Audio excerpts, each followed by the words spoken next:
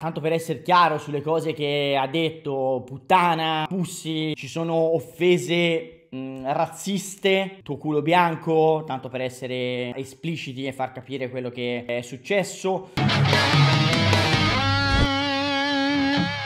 Un giocatore e una squadra in un momento complicato. Eh, tocca partire per forza da Kevin Durant Insomma, quello, l'ennesima gaff clamorosa, abbastanza vergognosa, di cui è stato protagonista stavolta via social, l'ennesimo incidente social in cui è inciampato KD. Stavolta particolarmente grave, non che in passato ci fosse andato piano, ma in questo caso veramente scivolato su una buccia di banana abbastanza significativa. Ricapitoliamo quello che è successo. Il comico Michael Rapoport ha pubblicato, tra l'altro è una cosa illegale, dei messaggi privati, direct messages, che eh, Durant eh, gli, ha, gli ha mandato è una conversazione privata, come una mail che viene mandata ovviamente da, tra una persona e un'altra, è un illecito teoricamente pubblicarla, anzi è un illecito senza teoricamente, è un illecito punto pubblicarla, è chiaro che la gravità delle cose che Durante ha postato fatto sì che né lui né i Nets abbiano potuto o avuto qualcosa da, da ridire. Durante si è scusato, ma tanto per essere chiaro sulle cose che ha detto, puttana, pussi, ci sono offese mh, razziste, tuo culo bianco, tanto per essere insomma abbastanza espliciti e far capire quello che è successo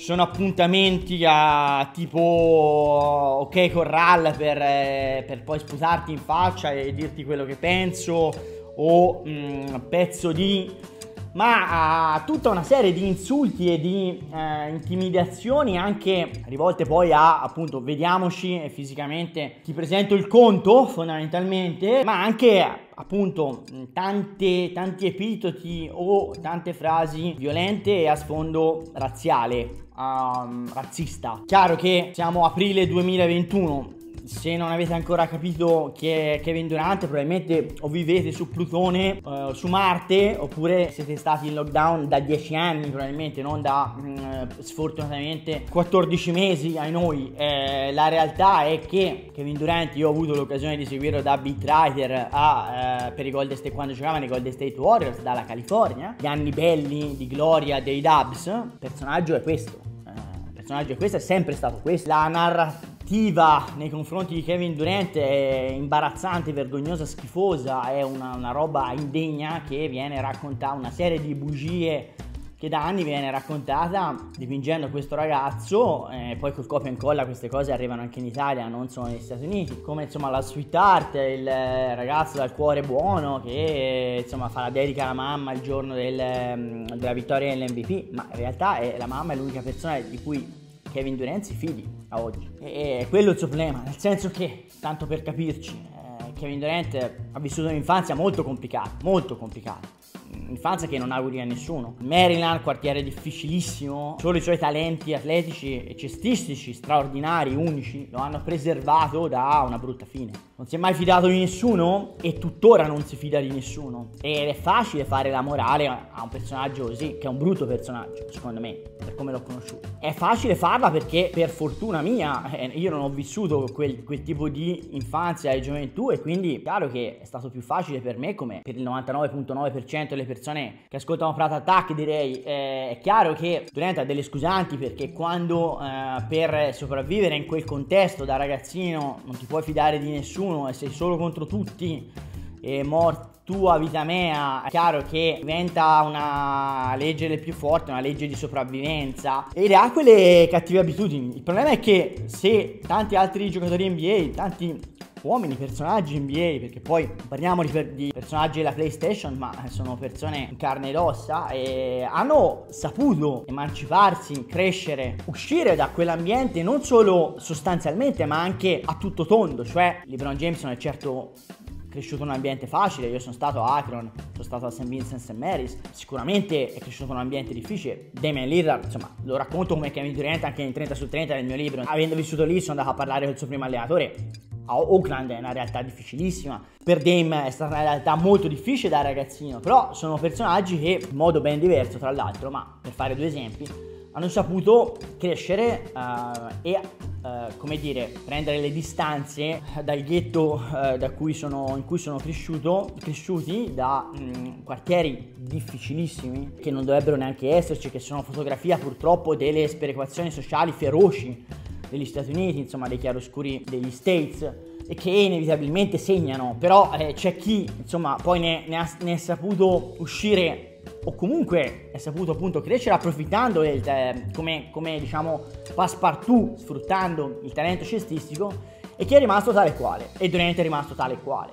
Mi ricordo un'intervista, quando andai a, la prima volta che, che l'ho intervistato andai a, Oklahoma City, era un suo rientro dopo un infortunio. Insomma, col coming home eh, di Skyler Grey a tutto volume e tutta la Chesapeake Arena che lo inneggiava, eh, lo chiamavano Serpente per un motivo, eh, avrebbe tradito ben presto, ma al di là di quello, l'ho intervistato a fine partita, mandai l'audio in gazzetta e mi chiamarono e mi dissero sì ma noi non capiamo niente. Cioè Kevin Durant fa fatica con l'inglese ragazzi. Cioè ehm, gli sti ragazzi parla così questo è lo slang. Sì ma non capiamo. Mandaci i sottotitoli gli mandai mh, mm, la traduzione italiana di quello che aveva detto insomma dopo un po' fai l'orecchio inevitabilmente no? Come gli slang americani sono più forti dei dialetti italiani inevitabilmente. Ma sono, questi ragazzi siamo al limite a volte dell'analfabetismo cioè e Durant fa, fa fatica addirittura con l'inglese a volte cioè questa è la verità ma più di tutto fa impressione proprio queste sue cattive abitudini fanno impressione. Io sono entrato nello spogliatoio di Oklahoma City alla prima da avversario di Durant alla Oracle Arena e insomma si percepiva quasi un odio, è, è, una roba anche difficile da dire da cronista, no? Perché comunque c'è una solidarietà di classe tra i giocatori inevitabile e un grande giocatore, un, grande, un talento speciale come quello di Kevin Durant, comunque gode di una certa immunità in, iniziale, no? Certo uno scudo ben più grosso rispetto a giocatori certamente meno dotati. E in assoluto insomma i giocatori tra loro come tutte le categorie tendono a difendersi l'uno con l'altro a far fronte comune. Insomma eh, schiumavano invece in quel caso cioè compagni di squadra traditi nella sostanza e nella forma e nei modi schiumavano rabbia, insomma i rapporti con Westbrook si erano rovinati, certo non per colpa di Russ. Poi gli ho visto piantare casini di ogni genere da arbitrater nello spogliatoio di Labs. Ragazzo che non si fida di nessuno, un solitario, ragazzo che, ripeto, è anche ingeneroso giudicarlo in maniera severa e feroce, nonostante questo, cioè la fattualità degli eventi lo racconti per quello che è è chiaro che ha una grossa attenuante per il background che lo contraddistingue e che l'ha segnato in maniera permanente. Però, ecco, da cronista non va raccontato per quello che non è. Per cui questi episodi, l'ultimo episodio è semplicemente la punta dell'iceberg di un ragazzo che ha enormi problemi nei rapporti interpersonali e la realtà è, mi sarebbe piaciuto sapere se queste cose fossero, questo episodio fosse successo a una non stella cosa sarebbe successo? Sarebbe probabilmente fuori all'NBA. Avete visto quello che è successo da Myers, a Myers Leonard di Miami dopo che insomma, giocando a un videogioco ha tirato fuori un insulto razzista nei confronti degli ebrei, in questo, nel caso specifico, eh, cosa assolutamente disdicevole. Eh, quello che voglio dire è che la stella è sempre più tutelata rispetto al giocatore minore che ma Leonard si è trovato tagliato da due squadre, neanche da una squadra subito dopo l'episodio e Durant multa di 50.000 euro e via andare, è pronto, pro, pronti a rientrare. Tra l'altro, insomma, sarei stato curioso di vedere a parti inverse se fosse stato un giocatore bianco a offendere un giocatore nero, cosa sarebbe successo e se sarebbe stato sospeso dalla Lega o meno. Sono situazioni molto molto antipatiche, molto molto difficili anche da valutare. Certo che sono situazioni gravi e Durant ne ha combinate tante anche a livello social negli anni. Eh, una postilla su di lui, ancora non è rientrato, fortunato, voglio solo sottolineare questo, 19 partite giocate rispetto alle 51 dei Nets, 32 anni, era stato fermo un anno per la rottura del tendine d'Achille. Quando è rientrato ha dimostrato di essere un giocatore ancora fantastico, però insomma grosso punto interrogativo sulle sue condizioni, sulla sua tenuta, durata fisica, atletica in prospettiva playoff perché si giocherà insomma fondamentalmente un giorno sì un giorno no eh, di continuo, eh, giocatore che non ha minimamente il fondo, tra virgolette, sarà tutto da testare. Secondo argomento del momento è la crisi dei Lakers. Quinti a est, ma insomma, eh, con eh, la situazione senza LeBron e senza, e senza mh, Anthony Davis si sta facendo sempre più complicata. Il record parla di 3 vittorie e 5 sconfitte. La realtà è che contro le squadre forti i Lakers neanche sono competitivi. Der- nel derby con i Clippers sono stati letteralmente spazzati via, non ci hanno messo mano. Coach Vogel è riuscito a, come dire, a creare un'identità, un'anima difensiva uh, ai Lakers che eh, nella loro metà campo, anche senza le stelle, eh, loro lo fanno. Il problema è che in attacco siamo letteralmente alle aste, cioè senza la foglia di fico Libron e piano B Anthony Davis e anche senza Drummond sfortunato che insomma si è fatto male a, a, subito all'esordio, anche se non è nulla di grave, insomma senza quella foglia di fico cadendo sono emerse le magagne, insomma le mediocrità di Schroeder e di Kuzma che hanno dei limiti terrificanti per, per i tifosi dei, dei, Lakers. È chiaro che con LeBron sembrano bravi tutti, eh, sono diventati bravi anche Tristan Thompson, Champert, Fry negli anni, Mario Chalmers e,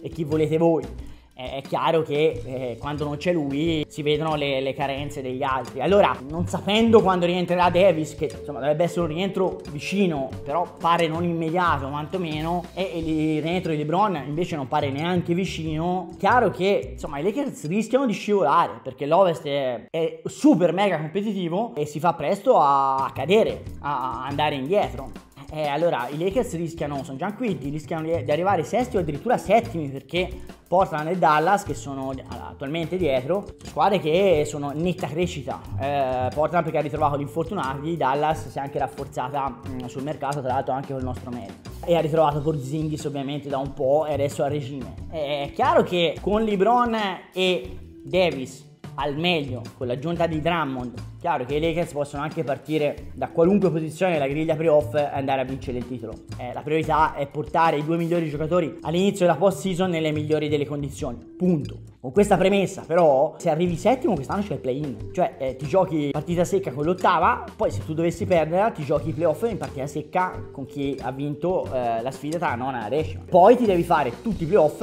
in trasferta. Ora, al momento quasi tutti i palazzetti c'è una minima percentuale di tifosi, in alcuni palazzi, in alcune arene ancora non c'è il pubblico, ma si presume che ci sarà pubblico in tutte le arene e in alcune, dipende da stato a stato, ci sarà anche parecchio pubblico, o perlomeno pubblico significativo. Quindi è chiaro che la priorità per i Lakers resta comunque recuperare al meglio i due migliori giocatori perché tutto parte da quello, altrimenti il castello di carte cade comunque. Però è ovvio che scivolare troppo eh, diventerebbe un grosso problema. A presto comprato Attack, alla prossima!